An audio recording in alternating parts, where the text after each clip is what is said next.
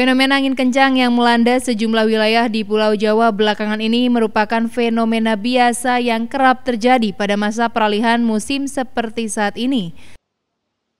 Selain faktor peralihan musim dari kemarau ke musim penghujan, Badan Meteorologi, Klimatologi, dan Geofisika Bandung mencatat adanya faktor regional di sekitar wilayah Filipina dan terjadinya sikloning duri di kawasan Samudra Pasifik, serta taifung Diaduri di sebelah timur, sehingga dampaknya angin yang sangat kencang menerpa wilayah Jawa Barat.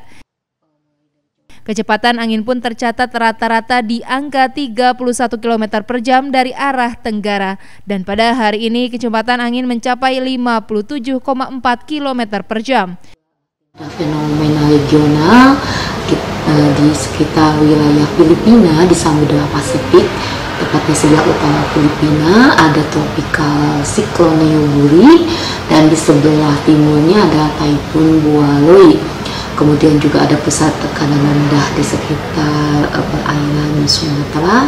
Juga salah satu ini menjadi dampaknya adalah ke wilayah Jawa Barat khususnya tapi ini seumumnya Jawa ya tapi khususnya Jawa Barat adalah fenomena angin kencang BMKG pun menghimbau kepada masyarakat agar waspada terhadap fenomena angin kencang ini. Warga pun dihimbau tidak mendekati pohon-pohon besar serta baliho yang rentan tumbang saat diterpa angin kencang. Yuwana Kurniawan, Bandung TV.